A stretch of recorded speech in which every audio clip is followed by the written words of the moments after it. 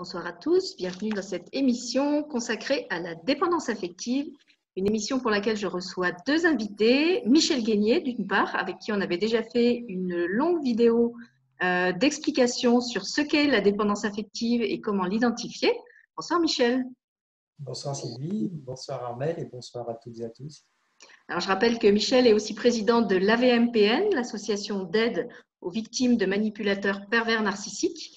Euh, avec qui on a des réunions euh, virtuelles euh, tous les deux mois. Et c'est en particulier à travers ces réunions que m'était venue l'envie de faire avec Michel des informations sous forme de questions-réponses comme ce soir et aussi sous forme de vidéos enregistrées comme celle que vous avez peut-être déjà visionnée avant cette, cette conférence. parce qu'en fait, c'était un sujet qui revenait très souvent dans les témoignages de, bah, des victimes euh, qui venaient chercher euh, de l'aide et des réponses dans ces groupes de parole. Et puis pour l'émission de ce soir, j'ai aussi choisi d'inviter Armelle Bonomet, qui est psychologue clinicienne. Bonsoir Armelle. Bonsoir Sylvie, bonsoir Michel, bonsoir tout le monde. Alors Armelle était déjà avec nous il y a deux jours dans une émission qui était consacrée à l'estime de soi, un thème qui est d'ailleurs aussi euh, indirectement reliée à la dépendance affective. Euh, et elle avait déjà fait avec Michel, c'était en 2017, une émission euh, où on avait parlé du harcèlement au sens large, pas seulement scolaire, mais moral, professionnel, etc. J'avais trouvé qu'ils formaient tous les deux un très bon binôme, très complémentaire, et c'est ce qui m'a donné envie de les réinviter ensemble pour ce sujet complexe de la dépendance affective.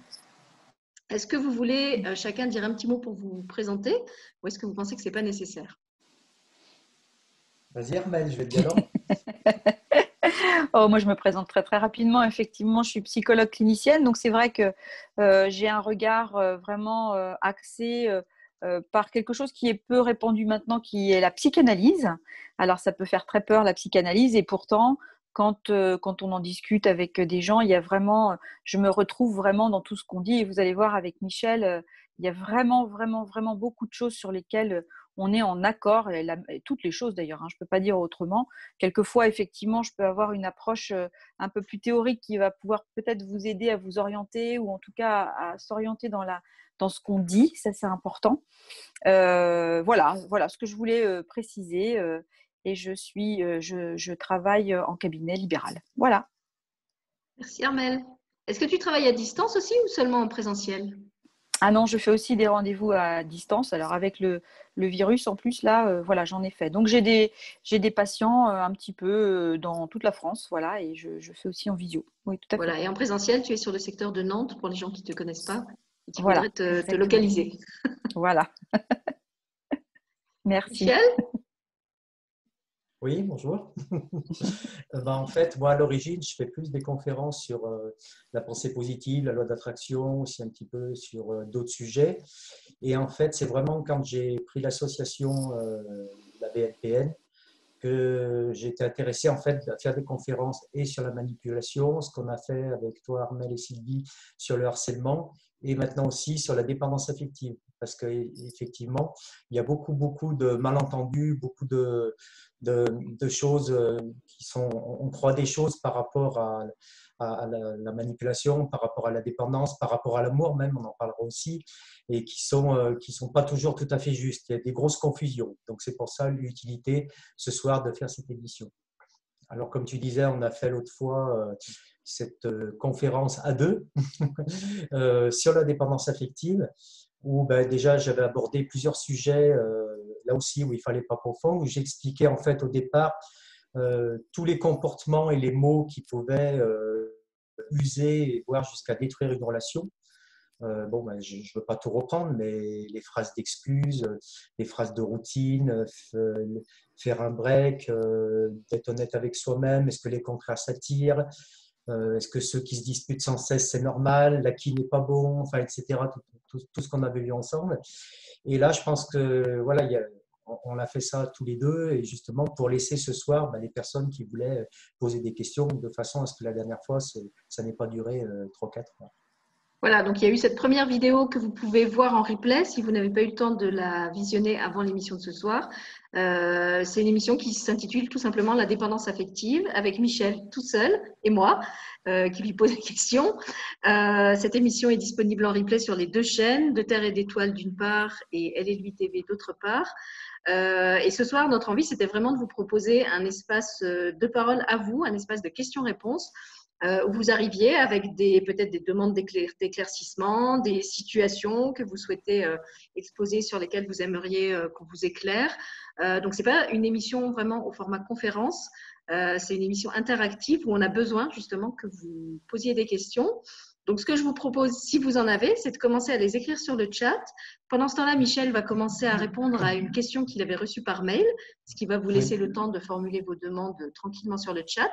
Et puis après, ben, je prendrai les questions euh, au fur et à mesure que, que, vous allez les poser. Alors, Michel, quelle était cette fameuse question que tu as reçue par mail? euh, J'ai trouvé cette question très intéressante, en fait, parce que c'est vrai que je n'ai pas du tout pensé à l'aborder quand on a fait la conférence il y a une dame qui m'a écrit, euh, en fait, c'est mignon, je trouve, parce qu'elle m'a écrit euh, Moi, les soirs, quand mon mari rentre, euh, tous les soirs, je le prends dans mes bras, je lui dis que je l'aime. Est-ce que je suis en dépendance affective? Alors, l'amour, eh ben, heureusement que l'amour n'est pas toujours de la dépendance affective. Donc, la dépendance affective, c'est vraiment quand il y a quelque chose de, de un manque, d'où le nom de dépendance effectivement, c'est pas parce que euh, on va prendre euh, son mari ou sa femme dans les bras, lui dire qu'on l'aime, euh, qu'on est en dépendance. Après, si vous lui demandez toutes les cinq minutes, ce serait que là, il y aura peut-être un, souci aussi. et, mais sinon, voilà, c'est pas pour ça qu'on est en dépendance, parce qu'on parce est très, très, très proche de sa femme ou de son mari, heureusement d'ailleurs.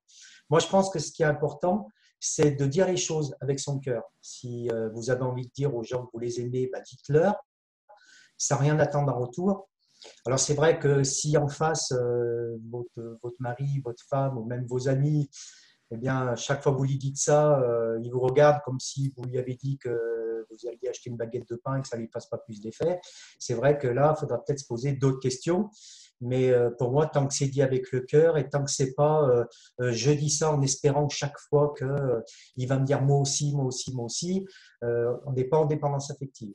Mais effectivement, si chaque fois qu'on fait un compliment à quelqu'un, euh, on attend toujours quelque chose en retour, c'est ce que je dis souvent dans mes conférences, et eh bien là, oui, ça peut être un petit début de, dépendance, euh, début ou même plus que ça, de dépendance affective. La dépendance affective, à ce niveau-là, même dans l'amour, euh, c'est normal qu'on ait besoin de l'autre, c'est ait, normal qu'on ait besoin de, le prendre dans ses bras, enfin j'espère, de, lui dire des, des, choses gentilles, mais il ne faut pas que ce soit un manque. C'est ça qui est important. Du moment où ça devient un manque, ben là, on peut déjà être un petit peu dans la dépendance.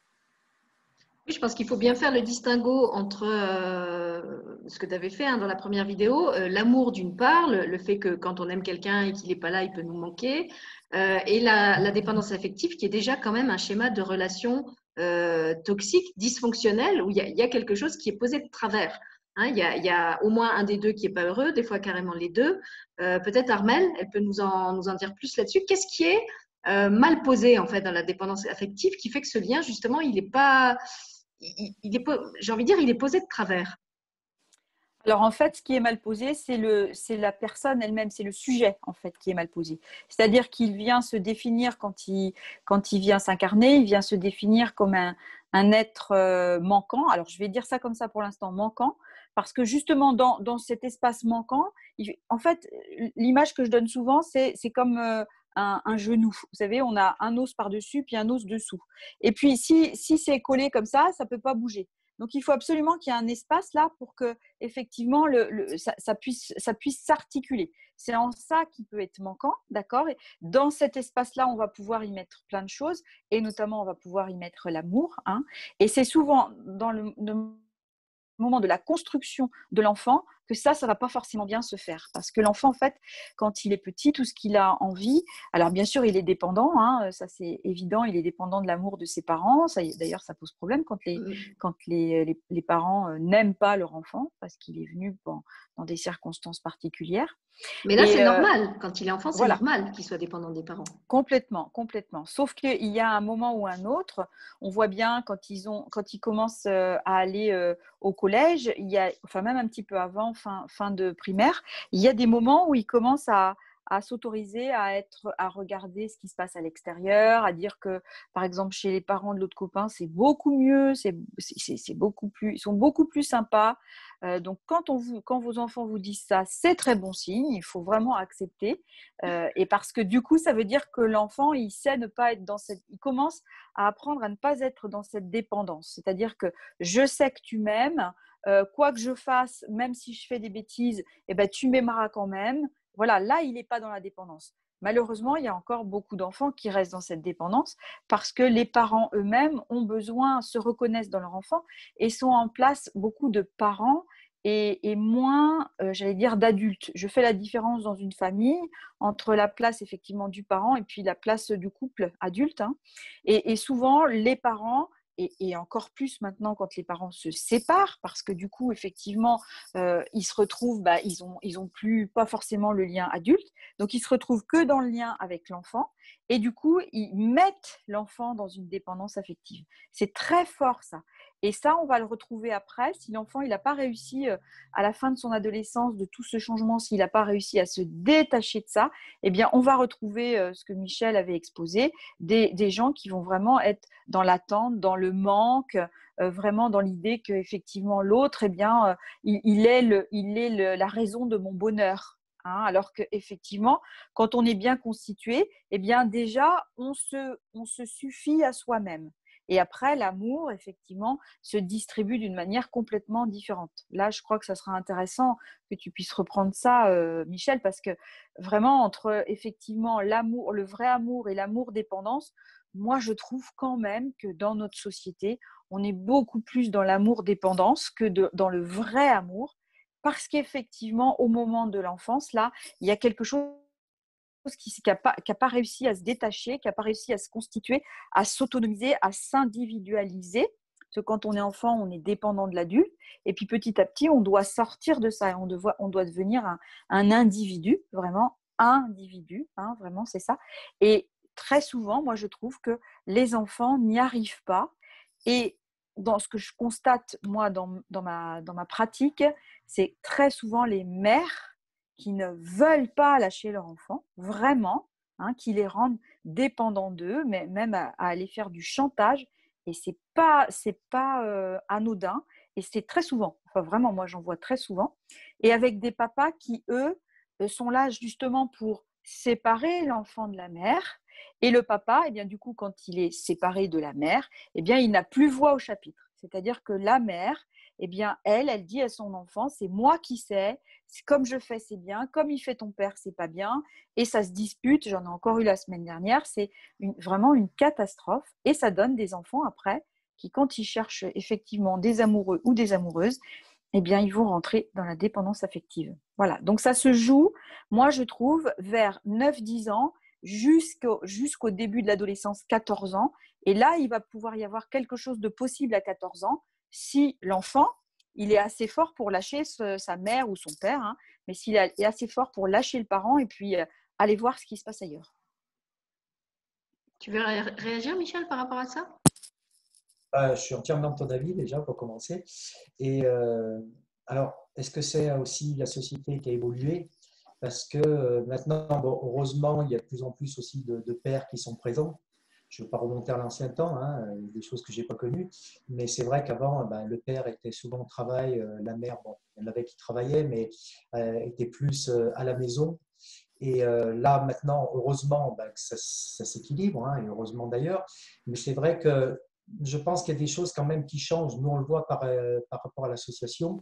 Comme tu viens de dire, Armel, on a de plus en plus aussi euh, c'est pas forcément une bonne évolution, mais, mais d'enfants euh, qui sont livrés eux-mêmes, euh, d'enfants qui ont plus tellement, alors pas tout le monde heureusement, hein, mais, mais qui, qui ont plus tellement de repères, que ce soit du côté de, du père ou du côté de la mère. On est dans une société de consommation, on est dans une société, surtout en ce moment où on vit dans la peur. Et effectivement, je pense que les gens, notamment les enfants, comme tu vas dire, ont, ont de plus en plus besoin de se raccrocher à quelque chose. Et c'est vrai que, euh, alors voilà, je suis d'accord avec toi parce que quand on dit tout se joue euh, jusqu'à 7 ans, après c'est jusqu'à 8 ans, moi je pense que ça se joue euh, pendant beaucoup plus longtemps que ça parce qu'il y a des, enfants qui n'ont aucun problème jusqu'à 7-8 ans, mais par contre qui ont des mmh. grosses dépendances après, comme tu viens de dire, hein, à 14-15 ans, qui ont du mal à surmonter l'adolescence, euh, des choses comme ça. Ils se sentent incompris. Euh, il y a toujours aussi, voilà, il y a toujours un moment donné où les parents, bah, ce qu'ils disent, voilà, c'est nul. mais effectivement, je pense que malgré tout, par rapport à ça, la clé numéro un, je le dis toujours dans toutes les conférences que je fais, c'est le dialogue. Parce que moi, je vois souvent dans des familles, on a l'impression que tout va bien, vraiment. On se dit, ah ben voilà, mes enfants sont épanouis. Et puis un jour, il arrive quelque chose, un drame, ou quoi, enfin, sans parler d'un drame, mais quelque chose de très, très négatif à un des enfants. Et souvent, on l'entend, hein, ah, mais si j'avais su, mais je comprends pas euh, pourquoi on en est arrivé là? Et c'est pas toujours facile, hein, parce que même dans une famille très, très équilibrée, euh, on voit pas toujours euh, parfois ben, qu'on ne va pas être assez présent avec son fils euh, ou avec sa fille, euh, c'est pas toujours évident à voir. Et puis ils ont leurs petits secrets. Et je pense qu'on est dans une société tellement où on vit à 200 à l'heure que on ne prend pas toujours le temps peut-être de, dialoguer. Hein. Alors moi c'est pareil, hein. il y a des moments, euh, je vois pas toujours, euh, je vais parler avec eux, mais il y a des moments je vois pas toujours s'ils peuvent avoir des, petits soucis, des, petites peines diverses. Et je m'aperçois après en, leur demandant qu'effectivement, il y a des choses que je n'ai pas vues. Ce n'est pas toujours facile d'être euh, parent, mais je maintiens quand même que le dialogue, ça reste quand même quelque chose d'important. Même si on a l'impression que les enfants, euh, les enfants ou pas que les enfants, hein, ne veulent pas parler, c'est toujours important, pour moi en tout cas, de maintenir ce lien, d'aller voir, de dire eh, ça va, tu vas bien, euh, comment ça se passe. je pense que c'est important. Je, me permets juste de rajouter aussi, euh, c'est-à-dire qu'au moment de cette adolescence et notamment au moment du collège, on infantilise encore beaucoup les ados, justement. Hein, alors, c'est pas, on va pas prôner le bon vieux temps où les ados, ils allaient travailler à 12 ans, là, c'est pas du tout ça. Hein. Mais quand même, on les maintient dans un système où euh, alors, ils sont à l'école, ils ont vraiment des règles très sévères, très sévères parce qu'il faut les tenir. Hein, on est d'accord, ils sont un peu en, ébullition, donc il faut quand même les tenir. On va pas, va pas les laisser comme ça. Mais quand même, euh, je vois jusqu'en troisième, on les traite comme, en sixième, c'est-à-dire tu écriras ton titre en rouge, tu feras ci, tu feras ça. On commence pas à les autonomiser et même arrivé au lycée, il y a vraiment des lycées qui les autonomisent pas. Donc ils veulent que l'enfant ait une, autonomie de pensée, mais il n'a pas une autonomie d'être. Et donc, du coup, ça, maintient dans cette dépendance affective, on en entend encore beaucoup, des enfants qui disent euh, Moi, je veux avoir des bonnes notes pour faire plaisir à mes parents, quand même. Hein, c'est pas rien, quand même, ce truc-là. Donc, la dépendance, elle est aussi entretenue de ce côté-là.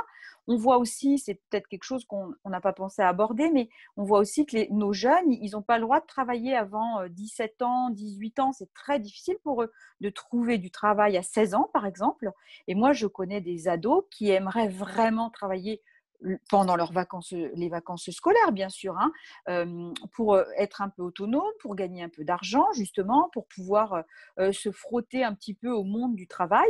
Et ça, en France, on l'a pas. On a, c'est très, très, très, très difficile de trouver du travail pour des ados de 16 ans. Donc, ils ont vraiment, l'école va pouvoir être un lieu où ils vont manifester cette envie d'autonomie. Euh, donc, ils vont aller contre les règles, ils vont aller, euh, ils vont aller essayer de, voir comment ça se passe. Et je te rejoins là, euh, Michel, en disant que c'est extrêmement important d'avoir du dialogue parce qu'effectivement, les enfants, ils, peuvent montrer bah, des choses à l'école. On se dit, c'est à l'école que ça va pas, il veut pas se mettre à travailler, il, ne fait rien, il fait pas ses devoirs. Donc, on se dit que c'est en lien avec l'école. Et en fait, non, ça n'est pas en lien avec ça. Moi, je, je mettrais ça plutôt du côté de la dépendance affective, c'est-à-dire que ce sont des enfants qui sont encore dépendants et qui euh, veulent manifester ça en dehors de la maison parce qu'à la maison, c'est pas possible. Donc, on va aller manifester ça à l'école. Alors attention, je généralise pas pour tous les enfants qui manifestent des choses à l'école. Hein. Il y a bien d'autres choses qui viennent se dire, mais c'est aussi une manière de montrer qu'ils veulent aller au-delà de la loi, euh, aller se frotter un peu avec la loi, parce que du coup, la loi en général, c'est celle à laquelle ils vont se référer, alors qu'avant, ils se référaient à la loi des parents. C'est les parents qui édictent la loi. Hein. Et donc là, ils vont aller s'y frotter. C'est pour ça souvent qu'au collège, ça frotte vraiment dur, parce que les enfants, ils ont vraiment besoin de s'arracher à ça, hein, vraiment s'arracher à ce, à ce cocon. Et du coup, ils le montrent. Et là, eh ben, c'est là où ce que tu disais, Michel, le dialogue est vraiment fondamental, vraiment fondamental, d'aller vraiment les écouter là où ils sont eux, euh, ce qu'ils en disent, et non pas simplement ce qu'en dit l'institution, par exemple, hein, je parle de l'école, euh, pour qu'effectivement, dans la famille, il y a quelque chose qui circule. Moi, j'ai eu le cas d'une petite fille, euh, elle était en sixième, sa maman lui a fait tellement de chantage pour qu'elle reste avec elle que cette petite fille en avait tellement marre qu'elle a dit à sa mère, eh bien, écoute maman, je ne veux plus aller voir papa, je ne veux plus aller chez lui. Et elle n'a pas donné de raison.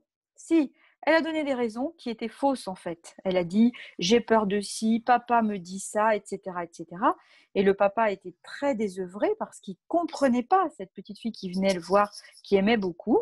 Et en fait, voilà, elle est venue me voir cette petite fille et on a réussi à comprendre qu'elle était, que sa maman était tellement dans la dépendance affective de cet enfant et elle générait ça pour l'enfant que l'enfant a baissé les bras. Elle, elle n'en pouvait plus. Donc, elle a préféré dire bah, j'aime plus papa, sauf que bah, après, forcément, elle a souffert, c'était plus possible. Elle est retournée voir et elle elle a vraiment été soulagée. Mais c'est vraiment, ça peut aller dans des, dans des choses très fortes et c'est ce qu'on va retrouver après, euh, effectivement, dans des, dans des femmes ou des hommes qui vont trouver des conjoints avec lesquels ils vont être euh, très dans la dépendance parce qu'ils vont penser que ça ne fonctionne que comme ça. Oui, moi, quand je vous écoute, j'ai l'impression que ce qui est un peu euh, emblématique de la personne dépendante affective, c'est qu'elle a besoin de fusionner. C'est comme si elle n'arrivait pas à euh, concevoir la relation à l'autre comme on est un plus un, euh, et à certains moments on se rejoint, et à d'autres moments on est disjoint. Mais c'est comme si elle, elle, avait besoin de vraiment fusionner, s'amalgamer à l'autre, et qu'à partir du moment où l'autre se retire de la relation d'une manière ou d'une autre, euh, c'est-à-dire s'il lui donne plus son attention, s'il se sépare, euh, s'il s'intéresse à quelque chose d'autre, eh ben, ça génère une sorte d'angoisse, de, sentiment de, de manque, d'être vide, de ne plus exister, comme si ces personnes en fait n'arrivaient à exister qu'à travers l'autre et le regard de l'autre. C'est pour ça que je trouvais que ça, ça rejoignait bien euh, l'émission sur l'estime de soi, où tu nous as expliqué justement, Armel, comment, c'est important ce, regard de l'autre chez l'enfant au moment de la construction de l'estime de soi. Euh, et alors, qu'est-ce qui peut expliquer justement que euh, certaines, euh, alors là tu nous parles des mamans, peut-être ça peut arriver aussi chez les papas, n'arrivent pas à défusionner d'avec leurs enfants, comme dans l'exemple que tu viens de citer, et que du coup, ils, vont générer justement aussi des enfants dépendants qui vont intégrer l'idée que la relation à l'autre, la relation d'amour, c'est ça, c'est fusionner, c'est être tout le temps collé ensemble, c'est ne pas avoir droit à un espace privé, euh, est-ce que ce sont des parents qui peut-être ont été eux-mêmes dépendants et qui du coup reportent euh, leur, euh, leur comme je disais, leur impression de ne pas exister sur leur enfant? Qu'est-ce qui fait que ça, ça, se, ça se répète en fait, cette histoire? Bah, Alors en fait, c'est certain que... Oui, tu veux y aller Michel? Vas-y, je t'en prie, vas-y. c'est certain que, que le, le, les, les il y a des parents qui ont souffert de ça, donc effectivement, ils reproduisent et ils s'en rendent pas compte.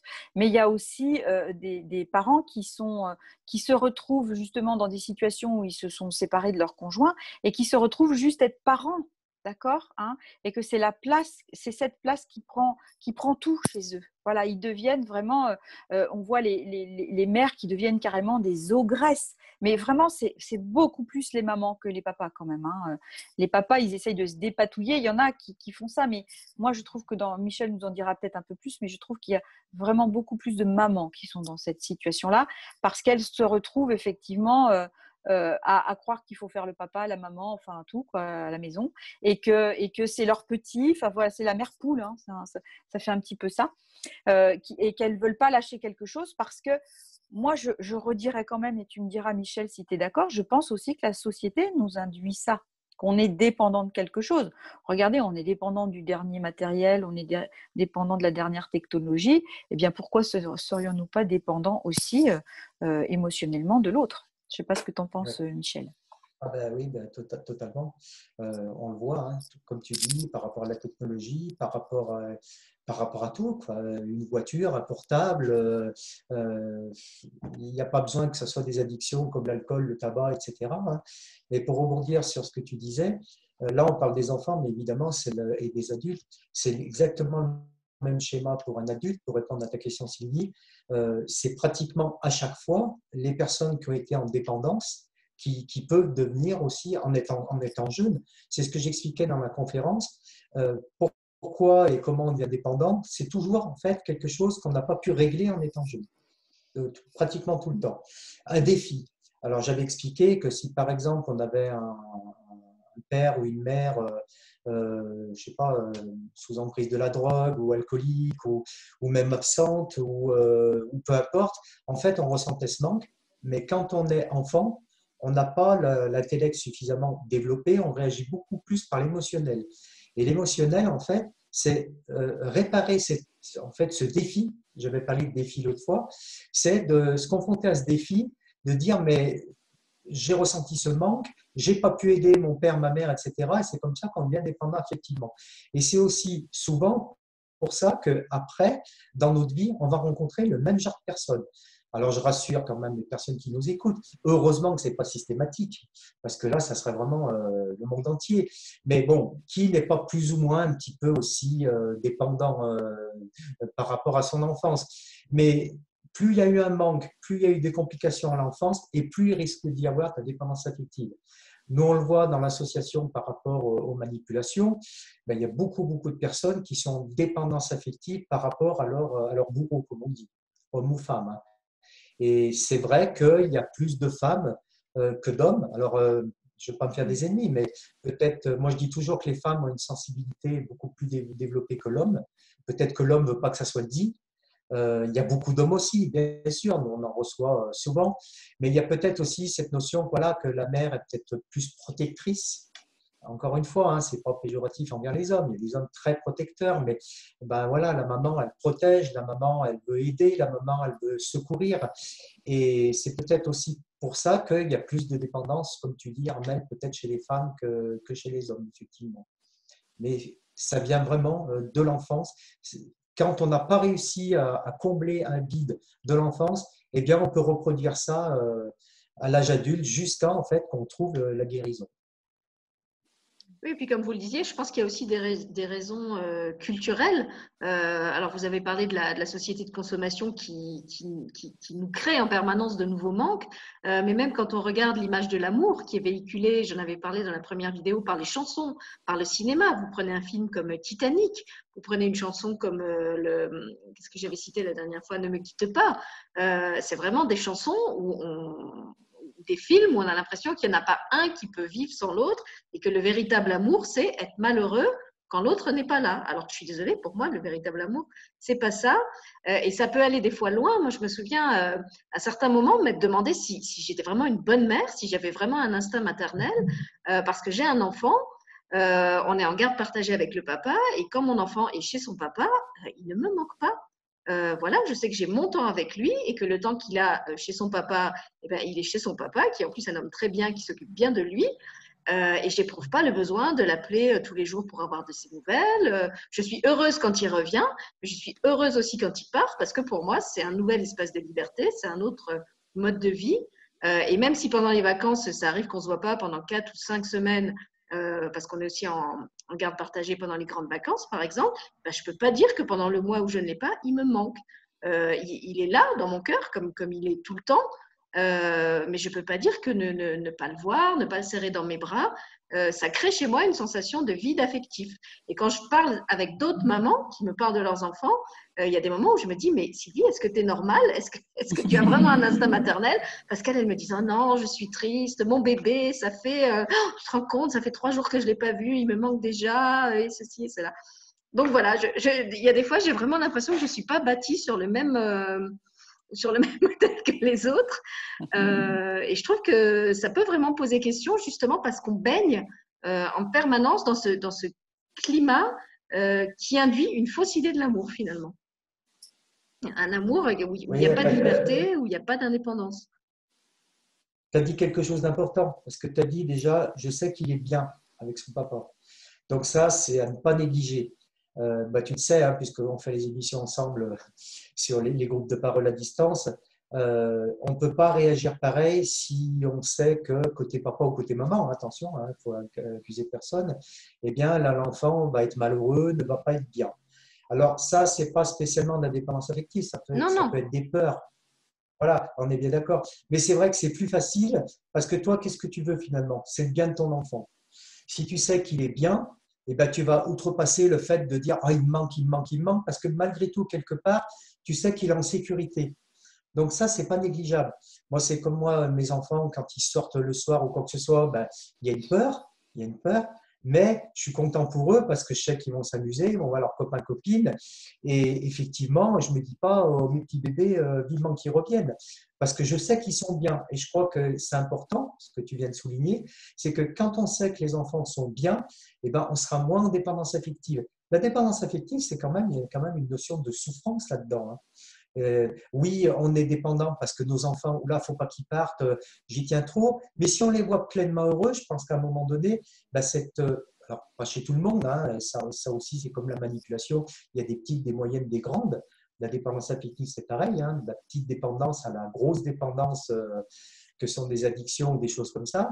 Mais je pense que quand on voit l'autre heureux, eh bien peut-être que ça nous aide aussi à, surmonter ces, ces, cas. Il y a quand même un cap avec les enfants, hein, où on les voit grandir, on est obligé de, les laisser un petit peu euh, voler de leurs propres ailes et c'est pas toujours facile. Hein. Non, mais je pense même à des gens qui sont en couple, tu vois, où, où c'est pas une séparation euh, parce qu'on ne va pas voir l'enfant, mais où il faut laisser l'enfant pour aller à la crèche, euh, où il faut le laisser parce qu'on travaille mmh. et que c'est la mamie qui le garde. je sais que même petit, euh, ça arrivait que ce soit ma mère qui le garde parce qu'on partait justement avec mon mari faire des choses tous les deux. Euh, et j'avais pas ce sentiment euh, que ça m'arrachait le cœur de le laisser à quelqu'un d'autre. Alors je vois qu'il y a des mamans qui vivent ça vraiment comme quelque chose de très difficile.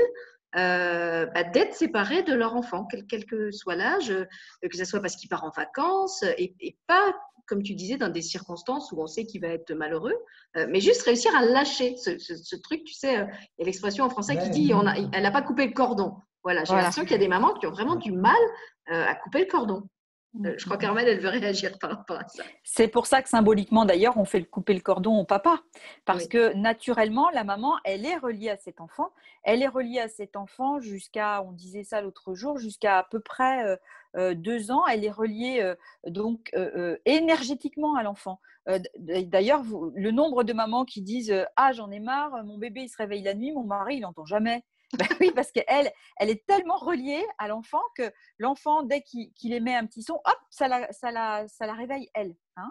Et donc, euh, du coup, elle est tellement reliée à lui que le rôle du père symbolique, c'est vraiment de venir couper ce cordon, c'est-à-dire euh, sortir l'enfant du giron de cette maman, du nid en fait. C'est vraiment son rôle.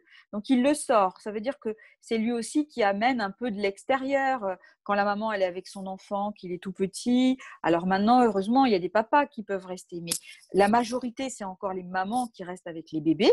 Et puis les papas qui continuent à travailler, ils amènent un peu de l'extérieur, ils ouvrent un peu la famille, ils ouvrent les portes, les fenêtres de la maison.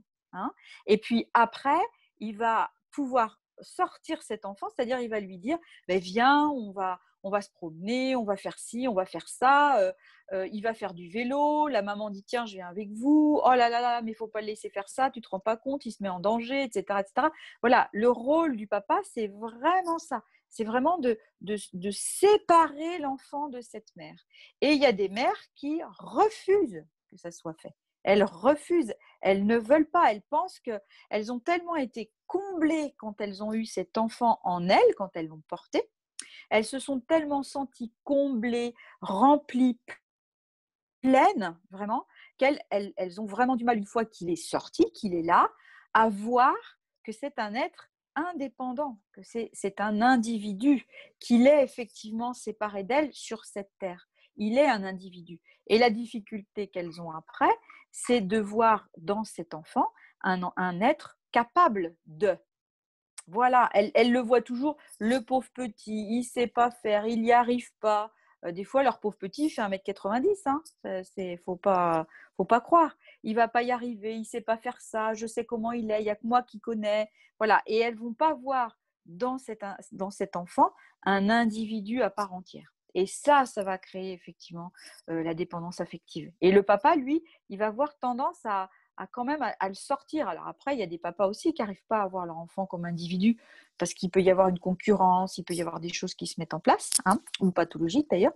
Mais effectivement, c'est vraiment voir l'enfant comme un sujet à part entière. Et je vous promets, moi, je reçois des tout petits enfants hein, qui ont 2-3 ans eh bien, quand vous les regardez en tant que sujet à part entière, pas du tout dépendant, même s'ils le sont quand même, hein, eh bien, les enfants, ils vous regardent en disant bah Alors, dis donc, comment tu me parles, toi?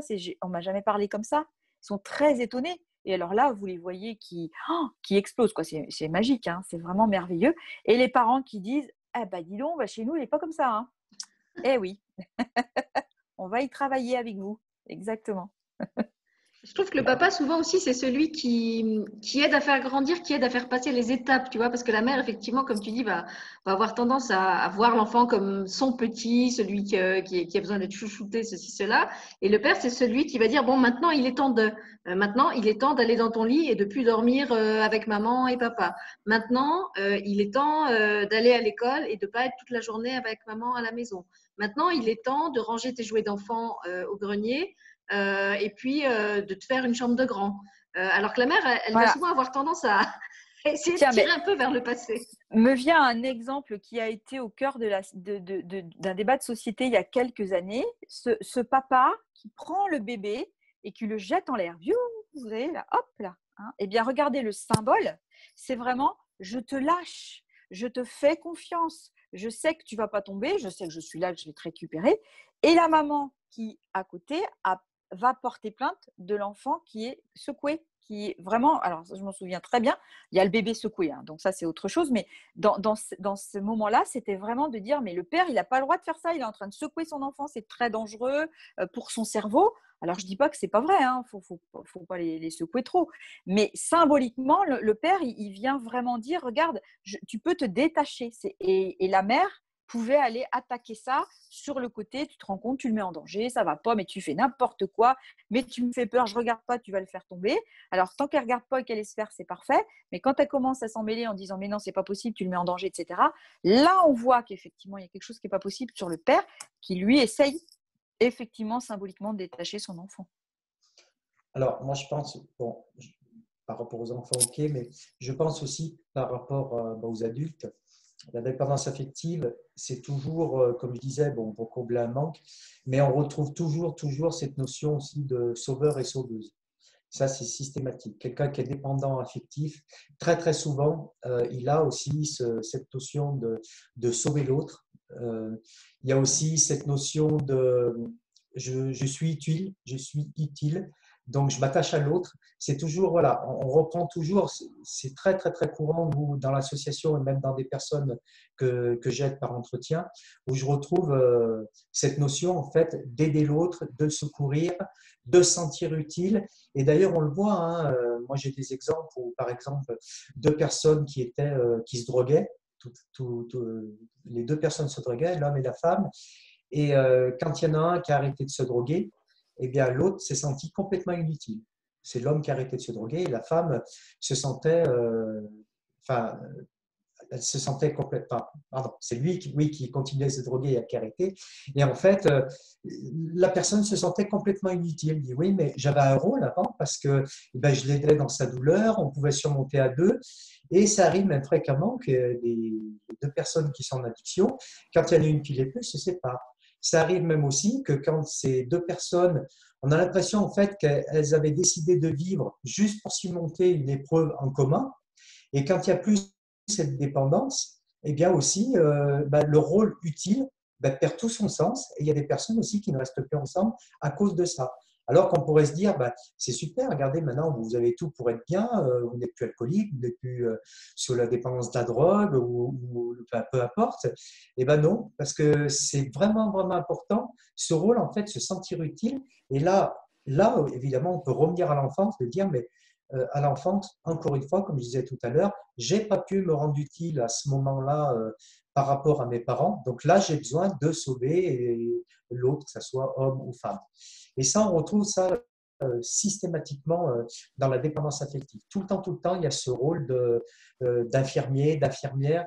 Et c'est ce qu'on dit souvent dans nos groupes de parole. Regardez, sur votre tête, il y a marqué Bonjour, je sauve tout le monde. Eh bien, la personne en face va lire Je sauve tout le monde et on va attirer que des personnes qui ont besoin d'être sauvées.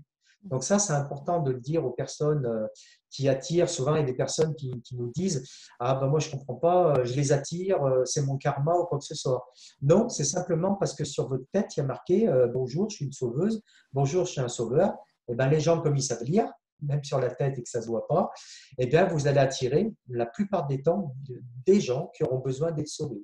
Et le jour, si vous voulez vous en sortir, eh bien, le jour où vous enlèverez cette étiquette en disant ben, Moi, euh, je veux bien rendre heureux quelqu'un, mais j'ai envie d'être heureux et heureuse aussi, eh ben, vous allez attirer des gens qui voudront vous rendre heureux et heureuse.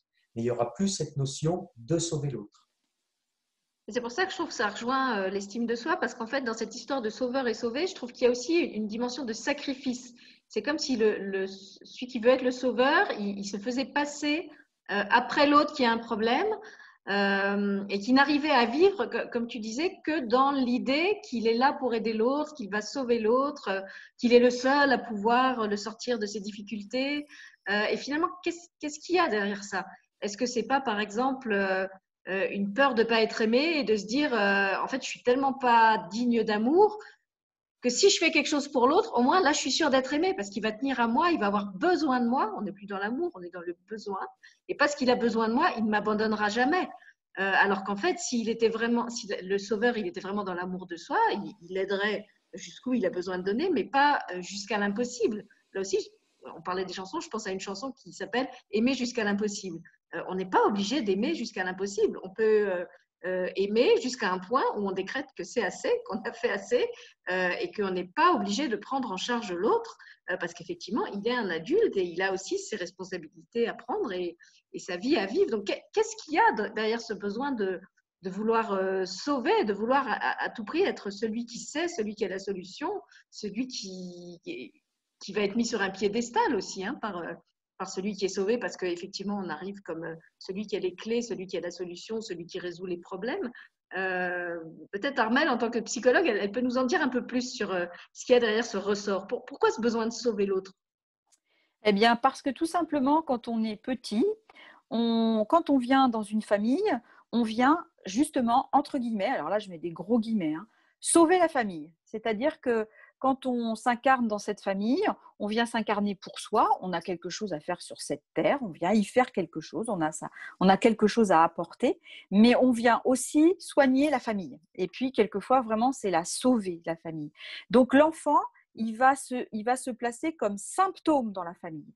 Et quand il est petit, il pense effectivement que tout tourne autour de lui. C'est-à-dire qu'il pense que ses parents, ils sont heureux quand lui, il est là, quand il fait ce qu'il faut, tu disais tout à l'heure, Michel, très justement, eh bien, quand le parent il est en difficulté particulièrement, eh bien, c'est l'enfant qui va avoir la solution. Donc, ça peut être avec des parents effectivement alcooliques, et ça, on en, on en voit beaucoup, beaucoup plus qu'on imagine, avec des parents qui se droguent ou qui ont quelconque addiction, parce qu'il y a aussi des addictions au jeu, mais aussi avec des parents qui, euh, justement, se sont séparés, qui sont euh, euh, affectivement en difficulté. Et du coup, l'enfant, il pense, mais voilà, très bien, dépressif. L'enfant, naturellement, c'est vraiment comme ça qu'il est constitué, naturellement pense qu'il est la solution de son parent. Donc, je trouvais que ce que tu disais, Michel, tout à l'heure, c'est très juste. C'est-à-dire qu'en plus, si là, il n'a pas réussi à sauver son parent, c'est vraiment très compliqué pour lui parce que son rôle jusqu'à justement 7-8 ans, là, le, 7 ans, l'âge de raison, eh bien, il pense qu'il vient là pour sauver le parent. Il s'inscrit de cette manière-là. Et on voit très souvent, effectivement, euh, par exemple, les petits-enfants qui commencent l'école vers 3 ans, euh, ils pleurent. Et je dis souvent aux parents, mais dites-lui que quand il est à l'école, vous êtes au travail et vous ne pensez pas à lui. Pourquoi? Parce que lui, quand il est à l'école, qu'est-ce qui se passe? Eh bien, il n'a pas le temps de penser à son papa, sa maman, hein, parce qu'il a tellement de trucs à faire que de toute façon, il fait plein de trucs. Et tout d'un coup, on lui dit, c'est l'heure des papas et des mamans. Il se dit, oh, j'ai pas pensé à lui, mon Dieu, quelle journée a-t-il passé? Et là, il, pense vraiment, et on arrive, et mon chéri, qu'est-ce que tu m'as manqué? Et bingo, ça y est, il a entendu ce qu'il avait peur. Et donc, du coup, il, est, il est pris dans quelque chose de moi, j'y pense pas tout le temps, mais toi, tu penses tout le temps à moi, donc moi, il faut que je pense à toi. Alors, c'est très difficile hein, pour l'enfant, donc du coup, c'est compliqué à gérer. Quand on libère de ça, il, y arrive à le faire, mais il y a des parents qui ne veulent pas. Hein. Quand je leur dis, dites-leur que vous ne pensez pas à lui, ils disent, «Oh, mais vous vous rendez compte, mais c'est méchant de dire ça à un enfant. Et je dis, bah parce que vous croyez qu'il a besoin de vous quand, vous, quand il est à l'école et il débrouille sans vous. Hein. Il y a une personne, deux personnes qui sont là pour s'occuper de lui. Il n'a pas besoin de vous. Et pour les parents, c'est très, très, très compliqué. Mais du coup, c'est parce qu'effectivement, la façon dont l'enfant est dépendant du parent va faire qu'effectivement, l'enfant pense aussi qu'il est le centre du monde. Et malheureusement, très souvent, aujourd'hui, l'enfant est le centre. On essaye de combler tous ses désirs. Et qu'est-ce que tu veux? On entend très régulièrement auprès des enfants, mais je fais tout pour lui. On fait tout pour lui. On va à des trucs qu'on n'aime même pas juste pour lui. Je dis, mais, pourquoi vous y allez? Ça va vraiment pas la tête. Si lui, il a besoin, il ira plus tard. Hein. Mais voilà, donc ça, ça, on, comment dire, on, grossit le truc encore plus que, ce, que ce qui est naturellement. Et les parents le, encore plus le verbalisent, hein, même des fois. Je pense euh, à, ces parents, euh, tu, parlais des, familles monoparentales qui disent à l'enfant Heureusement que je t'ai. Hein. Alors, quelle, responsabilité pour l'enfant de se sentir le, pilier du parent qui, en plus, est tout seul, qui a perdu son conjoint, qui devient, comme tu disais, plus ou moins le conjoint de remplacement euh, sans qu'on lui ait vraiment demandé son, avis. et même sans ça, il y a des, familles aussi où les parents sont encore en couple et où on entend la, euh, je crois que c'est la mère quand même souvent qui dit ça. Euh, heureusement que je t'ai, euh, tu es toute ma vie. et d'ailleurs, puisque tu parlais tout à l'heure de ces femmes un peu ogresses, un peu, je veux dire, envahissantes, c'est quand même moins monstrueux. Est-ce que tu penses que ce sont les mêmes femmes qui souvent font une déprime au moment où leurs enfants quittent le nid, parce que justement, elles se sentent complètement sans identité du fait qu'elles ont, en fait, elles ont bâti leur vie sur leurs enfants et, les enfants ont vraiment été leur centre du monde. Elles ont construit toute leur vie, leur centre d'intérêt, leur emploi du temps euh, autour du bien-être des enfants. Et du jour où les enfants partent, eh ben, c'est comme s'il leur restait rien. On, retrouve à nouveau cette histoire de, de, vide. Euh, je me rappelle d'une amie avec qui je discutais et qui me disait qu'elle appréhendait déjà, euh, parce que ses enfants étaient adolescents le moment où ils allaient partir. Et je lui dis, bah, je sais pas, qu'est-ce que tu aimerais faire quand tu, quand auras plein de temps libre et que tes enfants seront plus là et que tu n'as pas le temps de faire maintenant? Et puis elle m'a regardée, elle m'a dit, bah, je sais pas. Je sais pas, franchement. Euh, c'était comme si elle, n'avait pas d'existence, elle, en tant que femme, en tant qu'individu, hors de sa vie de maman. voilà, et son mère, en fait elles sont mères avant tout, en fait. Hein. Elles deviennent des mères. Et c'est pour ça que moi, je me, permettais de mettre ogresse, parce que dans, le, dans l'imaginaire infantile, on, les, on, les, on voit les ogres. Et on, dit très peu souvent les ogresses, hein, les, les, femmes, parce que c'est violent. Mais il n'empêche que c'est quand même de cet ordre-là.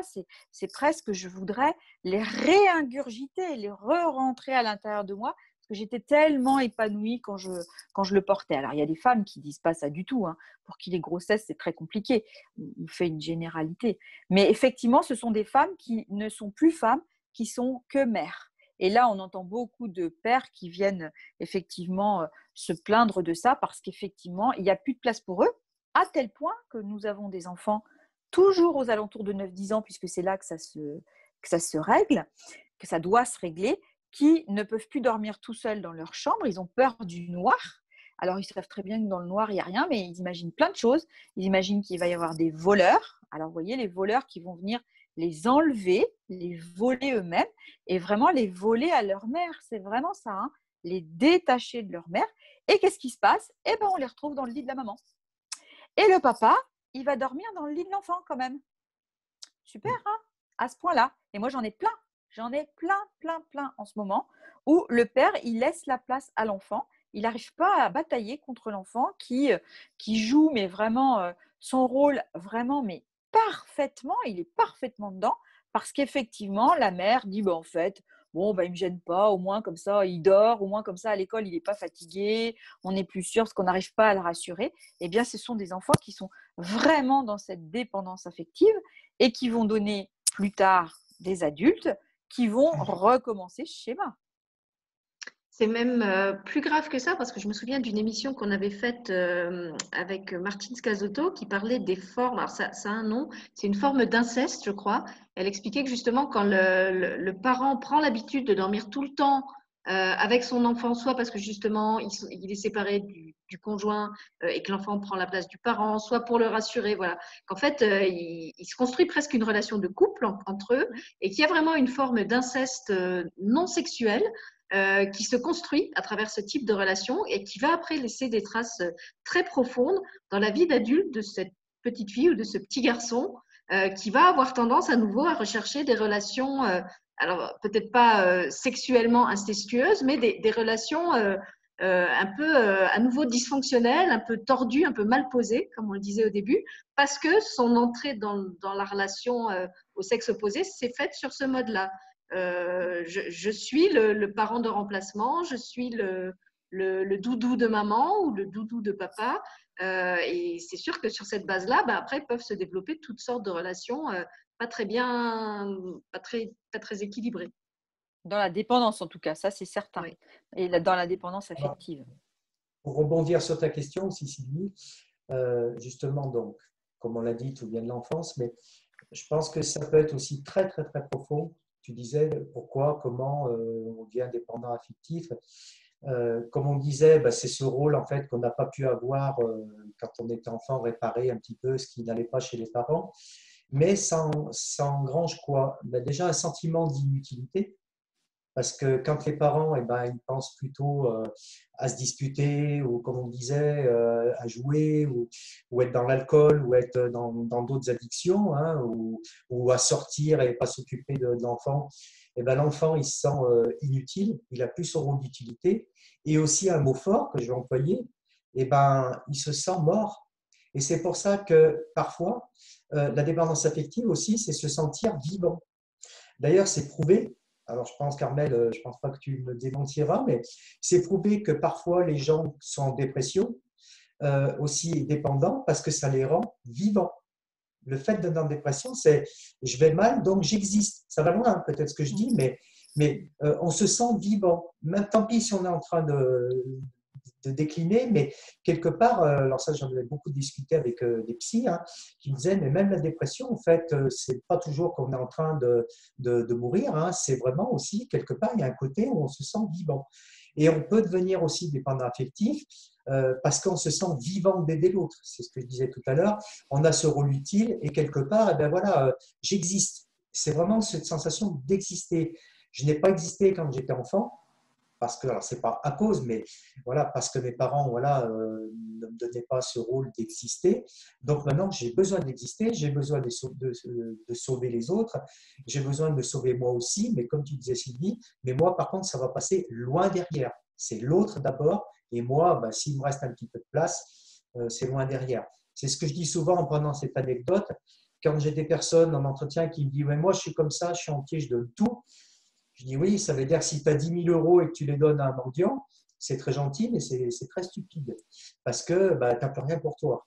Donc, euh, il vaut mieux que tu donnes un ou deux euros si tu veux et garder le reste pour toi. Ce n'est pas, pas égoïste, mais il faut penser à soi. C'est quand même important de toujours penser à soi sans être égoïste, mais de ne pas tout donner. Et quand il y a des personnes qui me disent Ouais, mais moi, je, suis entière, je donne tout, eh ben, c'est pas bien. Il ne faut pas tout donner. Il faut pas tout donner parce que même si la personne en face est très gentille, ben, quand on vous donne tout, ben, l'autre prend tout. Et puis après, on n'a plus rien. Comme on dit, le sac est vide. Donc voilà aussi ce qui peut conduire à la dépendance et parfois à, de la déchéance même derrière. Alors justement, si on... Je ne sais pas s'il y a des questions, non? Non, pour l'instant, il n'y a pas de questions. C'est pour ça que je ne vous en pose pas. Je, je surveille le chat. J'ai invité les gens à en poser, mais ils n'en ont pas posé. Euh, attends, j'ai perdu mon fil maintenant du coup. Oui, si on, si on revient sur l'idée que la dépendance affective se, se, construit sur euh, un vide, sur une sensation de manque et d'être inexistant quand l'autre n'est pas là, est-ce que ça veut dire que le, le chemin de la guérison, parce que quand même, la bonne nouvelle, c'est qu'on en guérit. On ne va pas plomber les gens hein, et leur dire que voilà, si on est dépendant affectif, c'est pour la vie et qu'on va souffrir toute sa vie. Euh, est-ce que le chemin de la guérison, il passe justement par euh, apprendre à se re-remplir de soi, de ce qui est vraiment soi, apprendre à exister sans l'autre, ce qui ne veut pas dire en excluant l'autre, mais à, oui, comme si on, j'ai vraiment l'image d'une statue un peu creuse, à, apprendre à remettre de la matière, à remettre euh, de la substance dans, cet être qui se sent euh, inexistant quand l'autre n'est pas là, de sorte que quand l'autre s'en va, on n'est pas euh, bah, comme ce bébé hurlant qui, se met dans un état d'angoisse et de panique absolue dès qu'il voit sa mère franchir le seuil de la porte, parce qu'il croit qu'elle ne reviendra jamais. parce qu'en fait, c'est un peu ça la situation du dépendant affectif, c'est quand l'autre n'est pas là, je n'existe plus, et donc bah, j'ai besoin d'être tout le temps collé à lui avec toutes les, dérives que ça peut générer. Les abus de pouvoir, les, jalousies, euh, le, chantage affectif, le chantage au suicide, etc. Donc, comment est-ce qu'on. Déjà, est-ce que ça passe par là? Et si oui, comment est-ce qu'on apprend à, refaire ce plein de soi?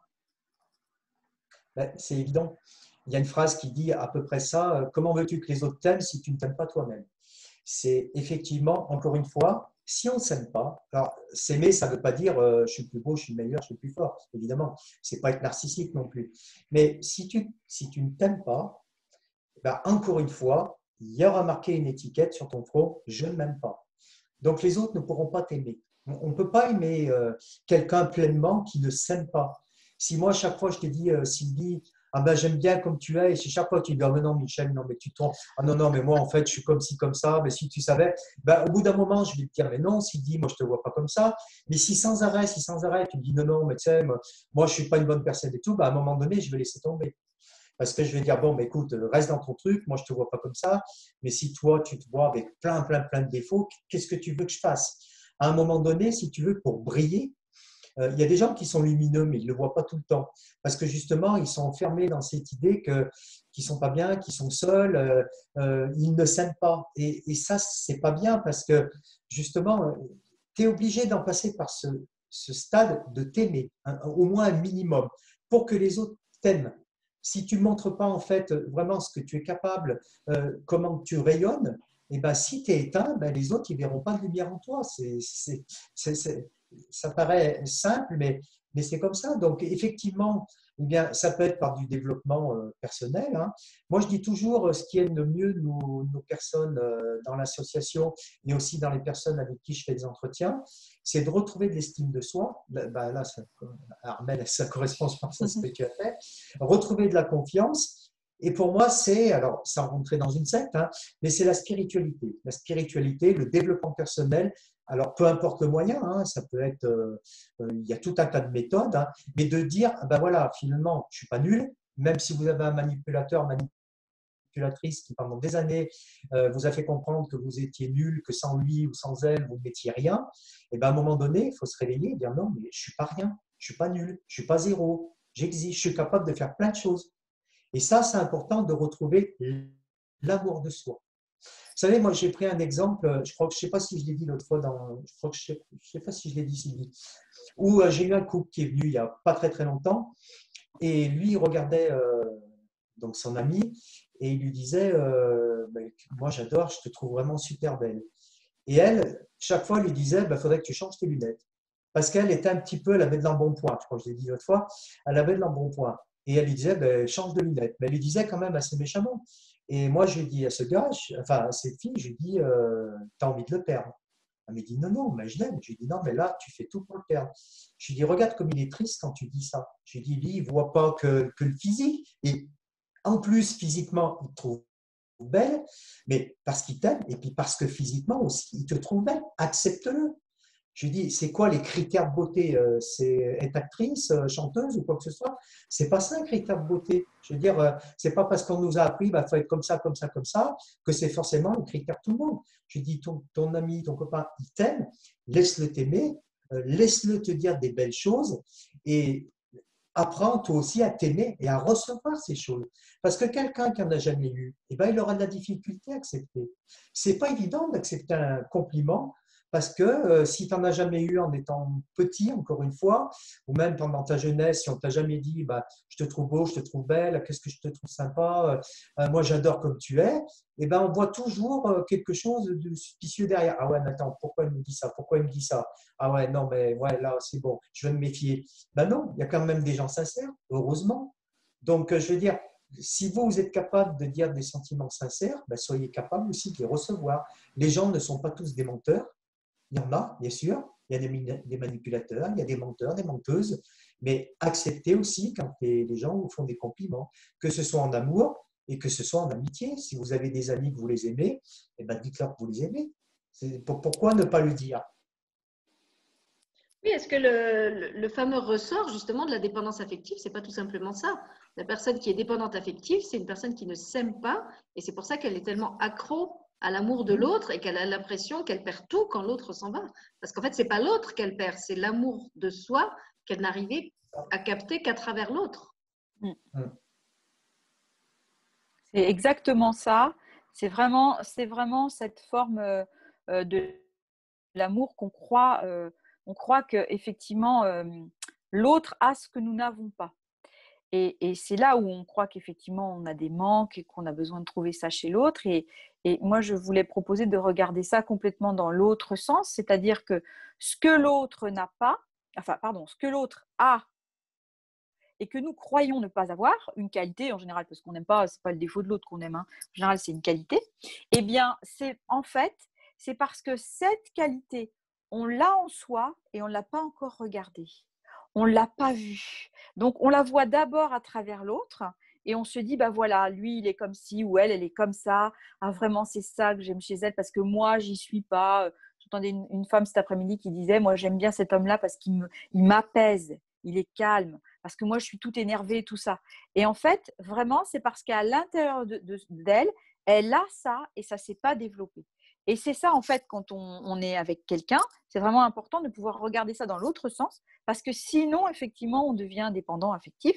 Et puis, en plus, je voulais rebondir sur ce que tu disais, Michel, c'est que quand on dit à l'autre, mets tes lunettes, là, comme le disait cette personne, eh bien, on est en train de lui dire, mais ça va pas, tu m'aimes, mais en fait, je nie le fait que tu m'aimes. Ça veut dire que, en fait, même toi, tu crois que tu m'aimes, mais c'est pas vrai. C'est comme si on, venait lui dire euh, Mais tu racontes n'importe quoi, tu te trompes, tu te connais même pas, euh, tu te mens à toi-même. Enfin, on vient vraiment euh, rabaisser l'autre quand on lui dit Mais en fait, tu n'as aucune raison de m'aimer. On vient vraiment l'atteindre lui, hein, comme on est atteint soi, bien sûr, hein, parce qu'on on va pas bien. Mais on vient vraiment nier ça. Et c'est très difficile pour cet homme, j'imagine, de, dire Mais si je suis sincère et qu'elle lui disait Ben non, c'est pas vrai, mets tes lunettes. Parce que lui, ça veut dire que finalement, sa parole n'avait pas de valeur. Mmh. Ça. Voilà, donc si des personnes qui sont avec nous souhaitent poser des questions, euh, vous pouvez les mettre euh, sur le chat. Et puis sinon, bah, je pense qu'on va, on va arrêter là parce qu'on a déjà dit euh, beaucoup de choses sur le sujet. S'il y a quelque chose qui vous vient encore qu'on n'aurait pas abordé? Qu'est-ce que j'avais vu Comment surmonter Donc, on ne va pas revenir sur comment, comment on, repère qu'on est, qu'on est sujet à la dépendance affective, parce que Michel avait bien détaillé tout ça euh, dans la première euh, émission. Euh, alors, par, rapport à la guérison, Michel, toi, tu as parlé du, développement personnel. Moi, j'aurais envie de dire que ça passe pas forcément par la spiritualité. Il y a des gens qui se reconstruisent en jardinant, il y a des gens qui se reconstruisent en faisant des trucs pas du tout connotés spi.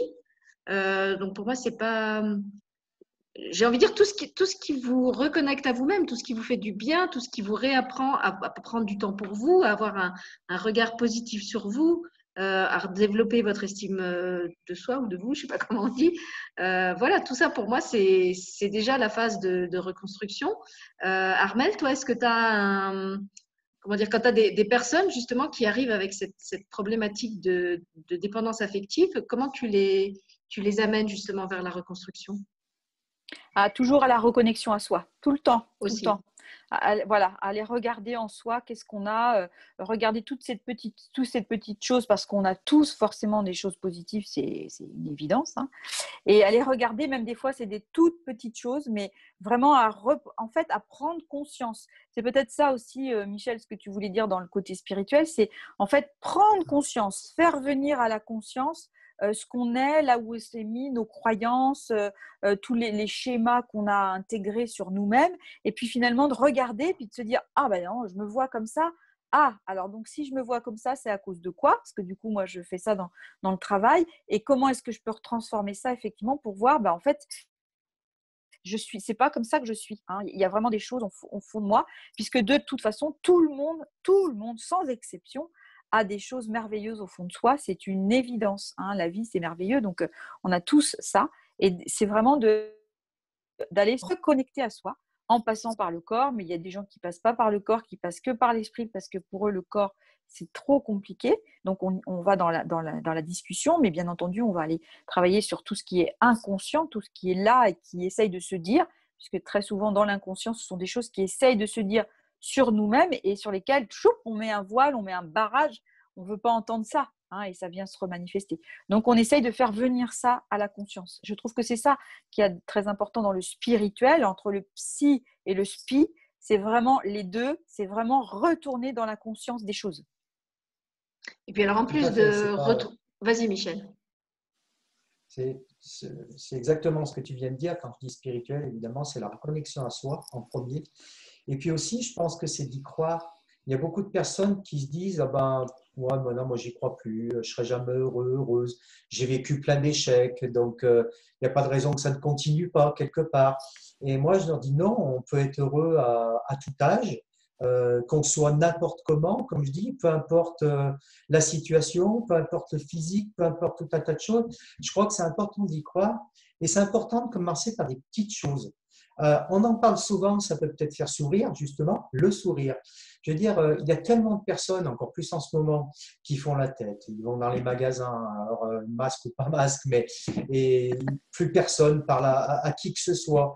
Moi, je trouve que c'est dommage. Je veux dire, je ne suis pas par les autres, mais je veux dire, moi, je prends plaisir, par exemple, quand je vais dans un magasin, bah, parler à quelqu'un, euh, alors pas au premier, euh, sinon il va dire qu'est-ce qu'il me fout, mais, mais c'est important de, de, dialoguer, de, je sais pas, enfin, je pense pas être un extraterrestre, en disant que c'est bien. Euh, moi, je vois le, le, buraliste qui est dans mon quartier, bah, chaque fois qu'on se voit, on parle de choses et d'autres, mais on n'est pas des ours, quoi. Et c'est c'est de la folie maintenant. Euh, de plus en plus, les gens, ils sont dans leur milieu, ils vont acheter quelque chose, ouais, merci, au revoir. Euh, euh, et, après, on s'étonne que la majorité des gens fassent la tête. Un petit sourire, ça coûte rien. Il ne faut pas que ça soit un sourire forcé. Moi, je me rappelle au travail, pourquoi toutes les dernières années, même de nombreuses années, je les ai passées mais vraiment bien. Parce que bah, quand j'arrivais le matin, ben, c'était la blague du matin, la blague du, d'après, euh, toujours le mot pour rire et tout.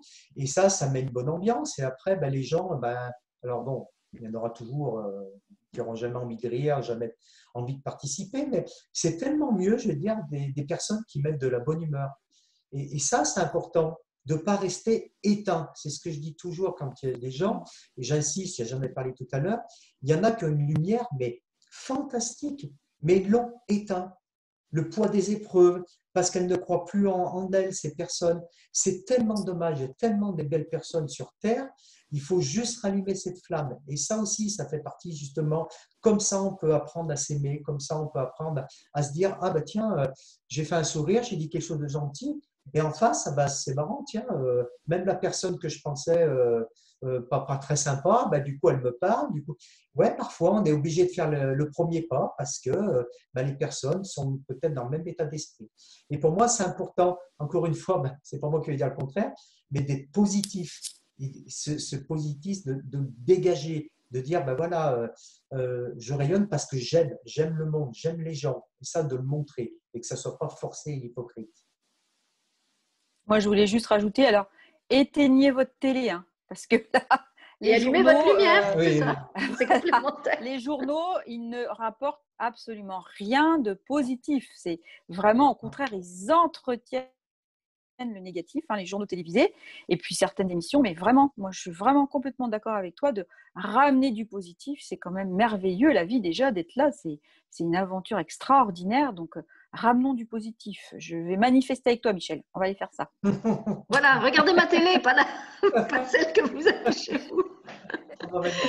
non, blague à part, moi je voulais dire qu'en plus de ce trésor, de découvrir euh, toutes les richesses que vous avez en vous et que vous ignoriez, puisque vous croyez que seul l'autre en était le détenteur et était capable de vous les apporter, euh, il y a un gain euh, inestimable à sortir de la dépendance affective, c'est la liberté que vous retrouvez et la sérénité. Moi, je viens d'une famille où il y avait beaucoup, beaucoup de dépendance affective. Donc, dans mes premières expériences de la relation et de l'amour, j'étais beaucoup là-dedans aussi. Et je me souviens que j'étais tout le temps angoissée, en fait. Quand on est dépendant affectif, on a tout le temps peur. On a peur de perdre l'amour de l'autre, on a peur de, de, ce qu'on a pu faire de travers, on a peur euh, euh, de, je sais pas, qui s'intéresse à quelqu'un d'autre parce qu'on se sent tellement nul que de toute façon, on se dit que même s'il nous aime, ça va pas durer.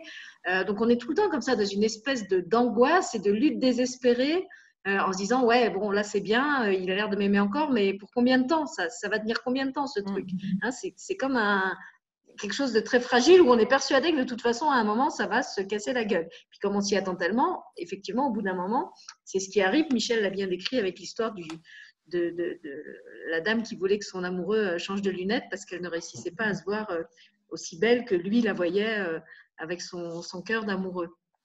Et donc, quand on sort de ça, euh, qu'on retrouve l'amour avec quelqu'un ou pas.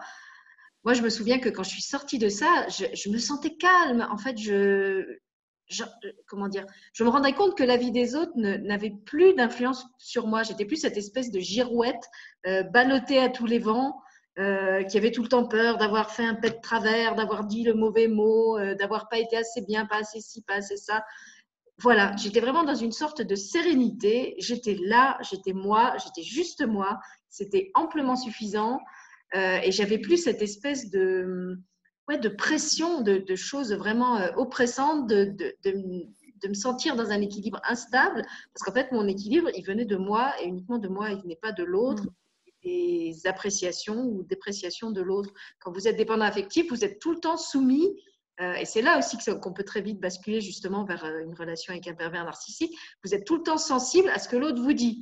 Alors quand le, vent souffle euh, et que c'est le vent chaud et parfumé, ben c'est génial. Et puis hop, il suffit que le vent tourne et que ça devienne le vent froid et glacial de celui qui va vous critiquer. Et on sait que les pervers narcissiques sont des as à ce jeu-là, hein, de, de, flatter et de, et de fouetter en alternance. Alors là, vous vous effondrez comme un flanc. Euh, jusqu'à ce qu'ils vous reconstruisent et puis jusqu'à ce qu'ils vous redémolissent. Euh, et combien de temps? Voilà, c'est déjà ça, ça fragilise l'être d'être euh, tout le temps comme ça entre le feu et la glace. Et puis combien de temps vous allez laisser le pouvoir à l'autre de décider qui vous êtes, si vous êtes bien, si vous n'êtes pas bien, si vous avez de la valeur, si vous n'en avez pas. vous êtes la seule personne qui peut, qui peut décréter ça, j'ai envie de dire. Mm. Je vois Armel qui fait oui, oui. Oui, oui, je suis tout à fait d'accord. La liberté, c'est magnifique. Après, on se sent léger. C'est ça. On se sent léger. Hein. Mm. Mm. On se sent léger. Voilà, donc j'ai pas de questions sur le chat, donc je pense qu'on va arrêter là pour ce soir. On espère justement euh, vous avoir aidé à retrouver un peu de légèreté dans ce que vous vivez euh, en ce moment, que ce soit dans le cadre d'une dépendance affective ou autre chose. Dieu sait qu'on en a besoin. Je remercie euh, Michel et Armel d'avoir reformé leur binôme trois ans après pour proposer cette nouvelle émission ensemble. Et puis je vous laisse dire un petit mot de la fin ou simplement au revoir, comme vous souhaitez. Vas-y Armel. Ah, moi, je voulais juste dire au revoir et merci d'avoir été là et merci à toi Michel de pouvoir continuer à s'appuyer sur, tes, sur ce que tu, tu, dis et ce que tu transmets parce que c'est vraiment très important, c'est vraiment fondamental. Donc, euh, merci beaucoup. Moi, je te remercie aussi beaucoup je remercie Cindy. Et puis, ben, j'espère qu'il y aura du, replay parce que c'est vrai qu'on attendait beaucoup de monde. Alors, je ne sais pas ce qui s'est passé, mais c'est pas grave. Euh, je pense qu'en disant ce qu'on avait à dire, on a certainement répondu, euh, je pense, à pas mal de questions. Donc, après, ben voilà, ça sera toujours, peut-être les gens, ça va les éclairer quand ils regarderont le replay. Après, ben, voilà, je pense que beaucoup de gens nous connaissent, on est suffisamment dispo. Euh, si après, enfin, moi personnellement, si des personnes ont d'autres questions à me poser, euh, je réponds toujours présent. Donc euh, voilà. Voilà, s'il y a d'autres questions, vous avez les coordonnées d'Armel et de Michel sous la vidéo. Vous avez aussi les autres vidéos qu'on a faites ensemble, dont la fameuse vidéo qu'on avait faite avec Michel sur la dépendance affective et ses mécanismes. Euh, donc, vous avez les liens pour les contacter. Et puis, si vous avez des questions que vous voulez laisser sous la vidéo, vous pouvez aussi les laisser là. Et à ce moment-là, je les leur euh, euh, transmettrai de mon côté. Ils vous répondront directement sous la, sous la vidéo YouTube. En tout cas, merci. d'avoir passé cette, cette soirée avec nous. Merci aux, personnes qui étaient présentes, qui, même si elles n'ont pas posé beaucoup de questions, étaient très attentives et sont restées jusqu'à la fin. Et puis, au plaisir de vous retrouver pour une autre émission. Merci à tous. Merci, au revoir. Au revoir.